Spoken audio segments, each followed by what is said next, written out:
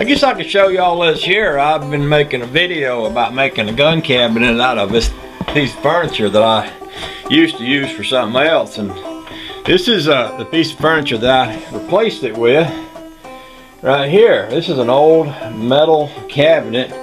They had it advertised as a medical cabinet. Got a little drawer there.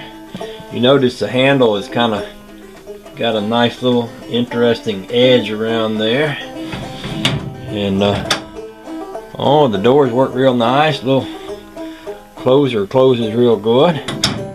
And it's got a nice porcelain top. I actually don't think this top is original to the table I see some holes here almost like it might have been mounted on something else. But it's in really good shape as far as the porcelain. There's no broken spot on it anywhere and it looks real nice and I had that other thing here, the thing I made that gun cabinet doohickey out of, you know.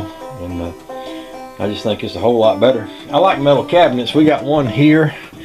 We got those metal cabinets in the kitchen, the ones that I made the Coke signs into. I got another metal cabinet behind the door here that I've had for a long time. And uh, I just like them. I think they're cool. They're kind of 40s, 50ish. -ish, I bet that one in there is from the 40s or maybe the 30s because the way the legs is made. You see them legs? Uh, I might have to brighten up my picture a little bit for you to see them they're made like the old style refrigerator legs you know.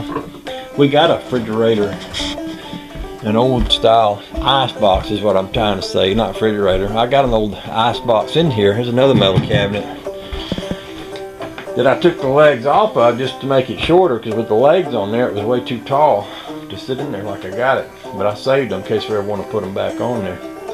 Anyway, I just thought I'd share that with y'all. mm-hmm. So there's a couple things I'm up to this morning. One is that gun cabinet. I decided to do some work on it and I've been upstairs making pieces and parts and I brought it down here. I'm gonna cut a hole bigger where that gun goes and then I'm gonna take the glass out. I want to clean the glass.